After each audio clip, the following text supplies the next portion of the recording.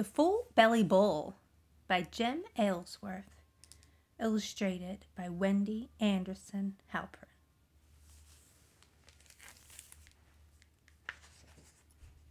In a tiny house at the edge of a forest, there once lived a very old man and a cat. The cat, whose name was Angelina, was white with patches of black, and the very old man thought that she was just about the sweetest cat in the whole world. On the day that this story begins, the very old man, hungry as usual, left Angelina on the sunny doorstep and went off into the forest in search of wild strawberries. He had not gone far when he heard the sound of a small voice in great distress. Let me go! yelled the voice. Let me go! At once the very old man picked up a stick and ran toward the voice.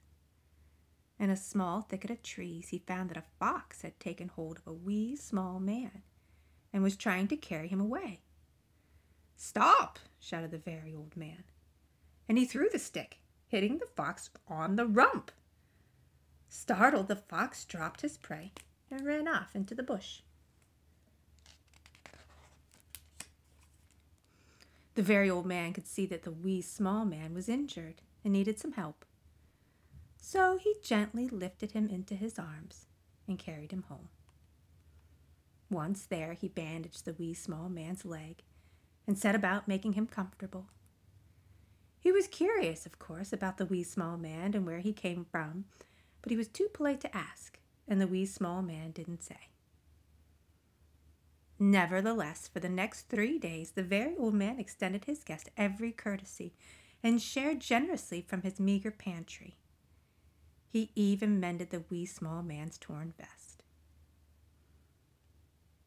Each day, the wee small man grew stronger, and the two of them got along very well. Then, on the morning of the fourth day, the wee small man was gone, without a word.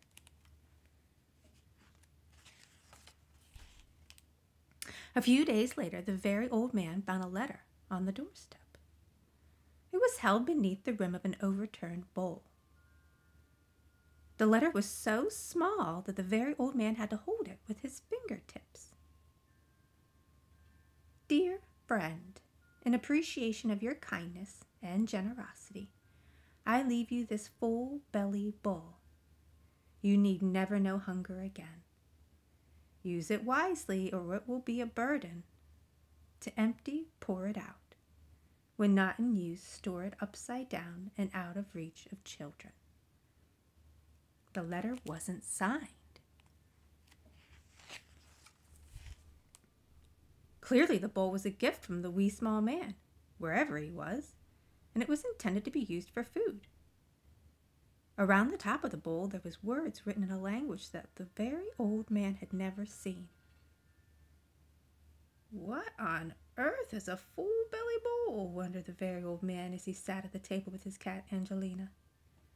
It was larger than the other bowls he owned, and prettier too, with decorations of flowers and mysterious birds. So that evening, the very old man prepared a stew and poured it into the full belly bowl. As usual, he began to eat.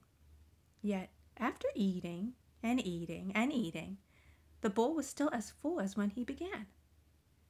He ate and ate and ate some more, and still there was no change. Finally, he poured the stew out into another bowl for Angelina. At last, the full belly bowl was empty. But the very old man certainly wasn't, and neither was Angelina. She was used to catching mice for her dinner and had never had more than a scrap or two from the table in her entire life. Both had to lie down, and when they did, they fell asleep. The next morning, the very old man was in for a big surprise. The house was completely gray with cobwebs. They were everywhere hanging from the rafters, sagging between the pictures on the wall, covering the mantel, covering the cupboard, covering his chair. It looked as if he had been asleep for years and years instead of just a single night. Then he saw the spiders. One after the other, they were streaming out of the full belly bowl. So it works with other things, thought the very old man.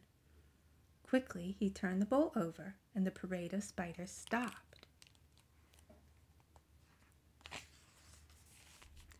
The very old man spent the next weeks ridding the house of spiders and getting used to using the full belly bowl properly. He made many delightful discoveries. He found, for instance, that he could multiply a single strawberry by placing it in the bowl and then repeatedly removing the strawberries until he had a heaping mound, all plump and sweet. When he had enough, he poured the last one onto the pile and put the bowl away. Indeed, the very old man soon forgot the meaning of hunger. In fact, he began to put on a little weight. And, what with all the extra food being given to her, so did Angelina. The very old man didn't forget the spider problem, however, and when he wasn't using the bowl, he turned it upside down and put it on top of the shelf in the pantry. Then one morning he made another exciting discovery. He had finished breakfast and was returning the bowl to the pantry when a button popped off his vest. It landed in the full belly bowl. When he reached in and took it out, it was immediately replaced by another one in the same way that the spiders and the strawberries were. It made him wonder what would happen if he put a coin in the bowl. And though the only coin he had was a copper penny, he decided to give it a try. To his delight, it worked. Each time he took a coin from the bowl, he found that another had taken its place. The very old man spent the rest of the morning taking pennies from the bowl. He worked until his arm ached and the piles of pennies began to spill off onto the floor. It was then he realized that if he had a gold coin, he could put that into the bowl and, with the same small effort make himself rich beyond his dreams. He decided to take the pennies to town and swap them for gold. His hands trembled with excitement as he swept the pennies off the table and into an old flour sack. With the heavy sack slung over his shoulder, he closed the door behind him, and, leaving Angelina napping on the doorstep, he set off for town. Unfortunately, the very old man had been so excited at the thought of becoming rich that he had forgotten to put the bowl away. And even worse, in the days before the bowl, Angelina had kept the house free of mice. But now, with so much other food around, she hadn't taken as much interest in them. And worst of all, one of the mice, a great big one, thought he smelled something good to eat in the full belly bowl and started climbing up the very old man's chair which was right next to the table. While that mouse was climbing up his chair, the very old man was swapping his pennies for three $10 gold pieces. Right away, he put one of them in his pocket to save for the full belly bowl.